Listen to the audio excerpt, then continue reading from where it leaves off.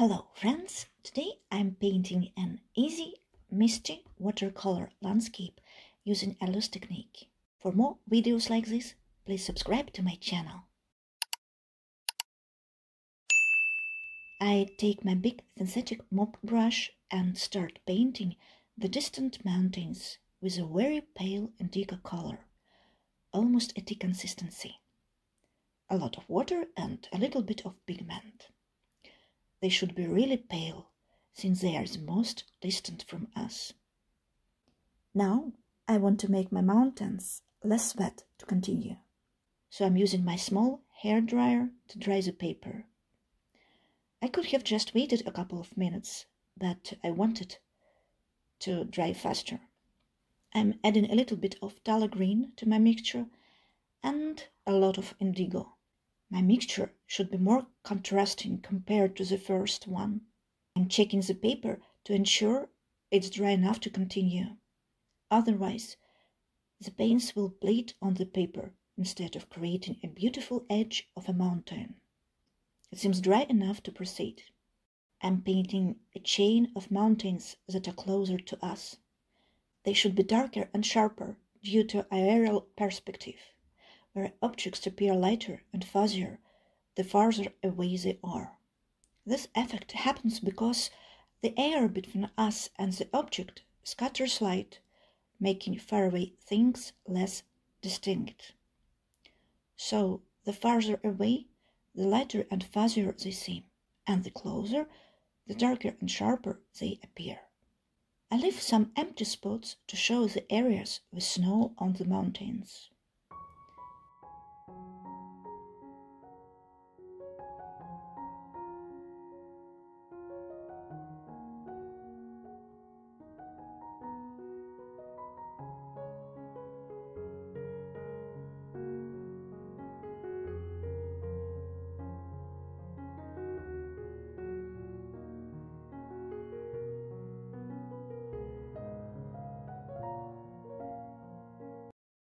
Want to depict mist at the foot of the mountains to create a misty atmosphere.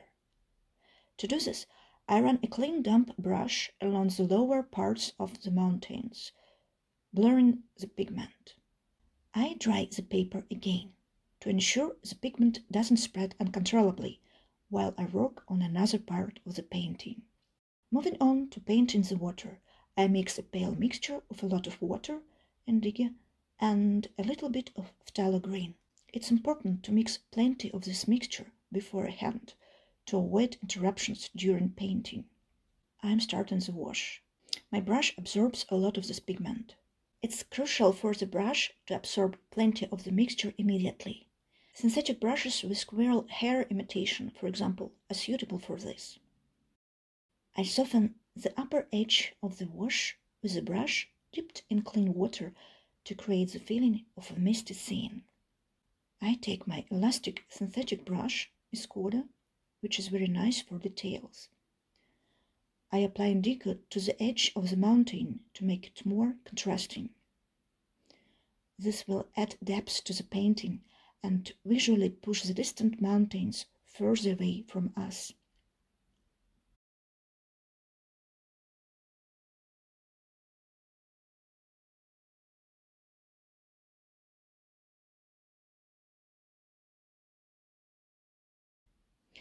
I mix a dark mixture of indigo and a little bit of phthalo green, and I start drawing the areas with land.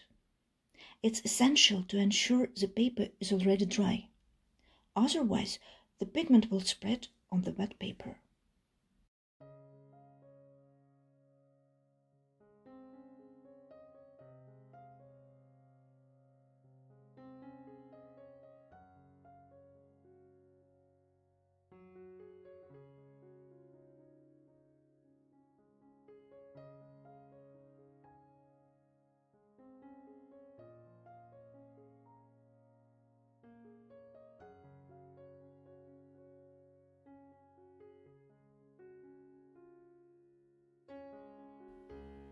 With the same mixture, I start drawing pines. With careless movements of the brush, I paint the branches from top to bottom, varying the saturation of the pigment from lighter to darker.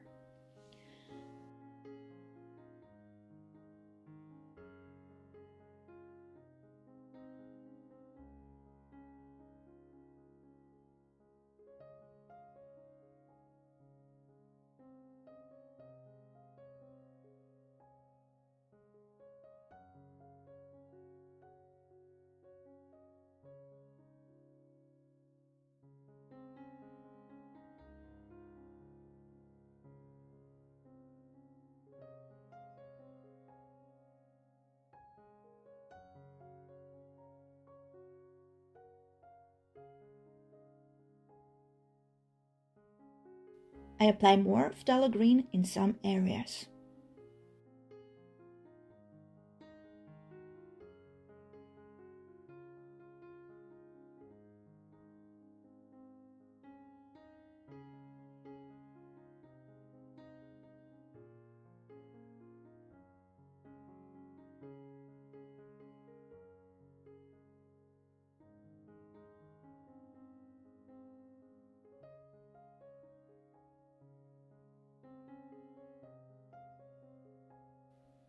I'm adding some details.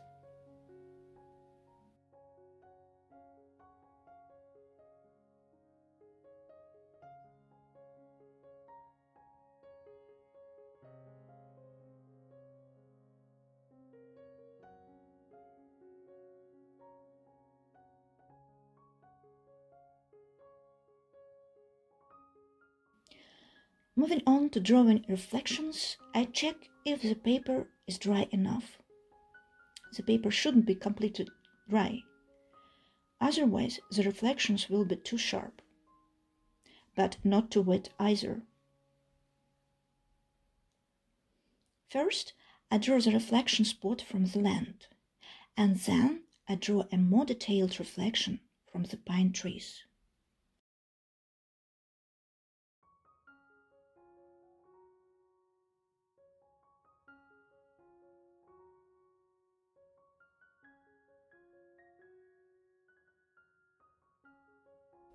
I add dark and indigo spots here and there.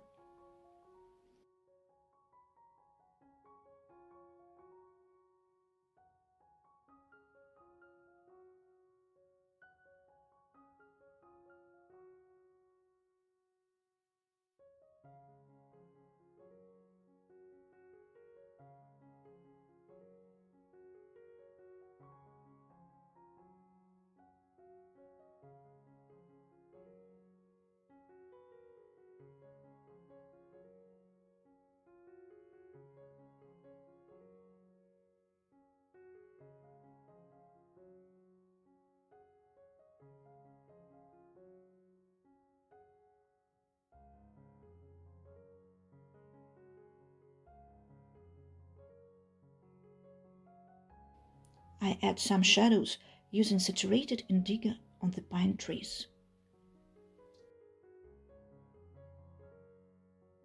I'm starting now to paint a distant mass of trees. Since they are farther from us, they should look fainter and less detailed compared to nearby ones. In the mixture, I use more phthalo green.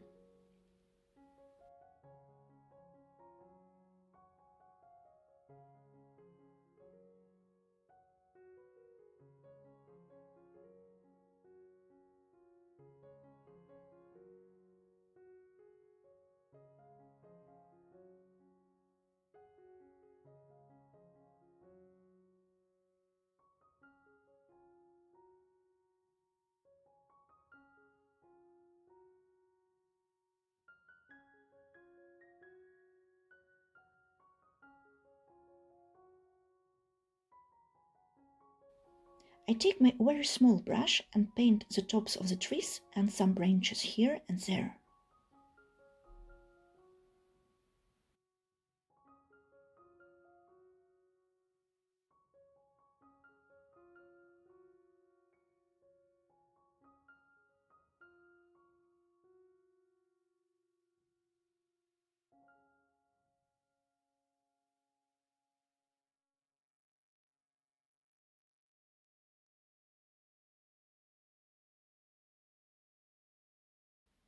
I add indigo at the base of the tree moss. I use the same mixture to paint reflections.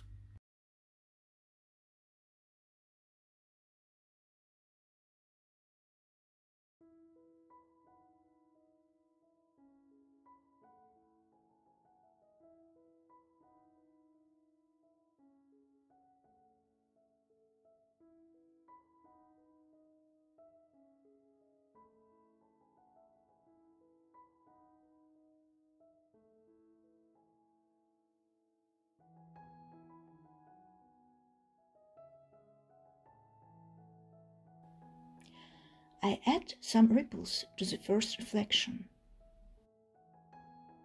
In some places, I use my fingertip to slightly blur the pigment and create an interesting texture. I want to paint a few more trees in the foreground.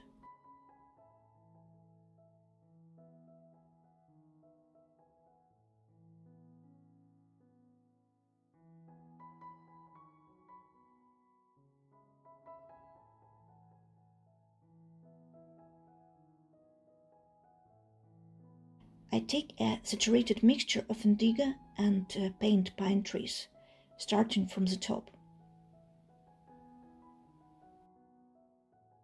I increase the size of the branches downwards.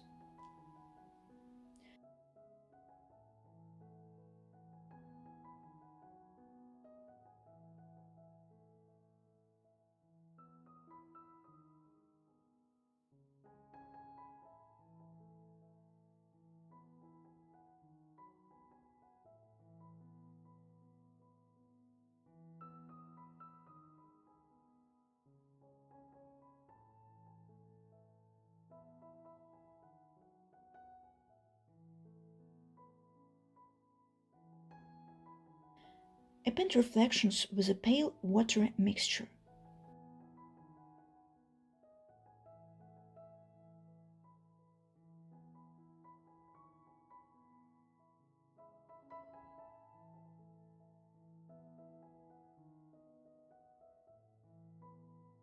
I add shadows using indigo.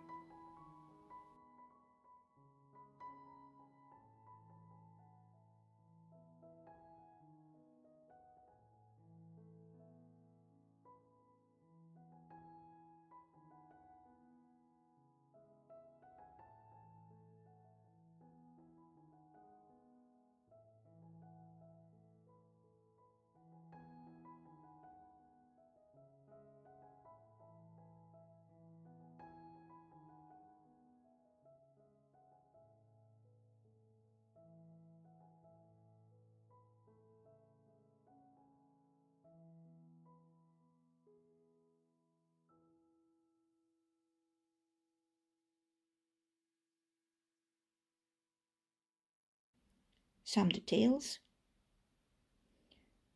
I'm lifting out the pigment with the brush to create light areas on the trees. I paint ripples on the water, drawing narrow, dark stripes.